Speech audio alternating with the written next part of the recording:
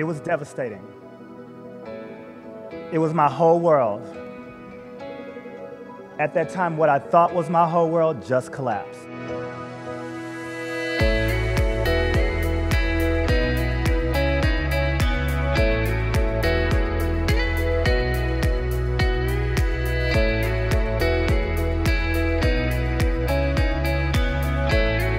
Hope to leave with a sense of community amongst ourselves as a cohort, with a shared understanding of why participants come to this work and of how to build trust between artists, arts presenters, healthcare providers, and military communities who don't often partner together.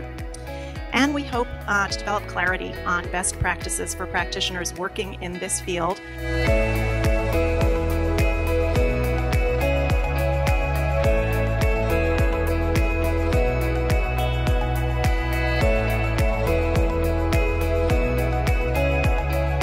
Not necessarily making things. We just found a lot of joy um, and community just through the practice of um, what people used to do or I never thought about writing but I you know I've been journaling all the time. Is this is this art. Am I allowed to call myself an artist is what I'm making artistic right? And so language equity and um, uh, welcoming everyone into the room has been a really important part of the practice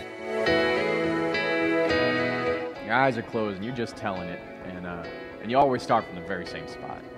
The first couple of times I did it, you know, my eyes are closed, and, and she asks, um, "So where are you?"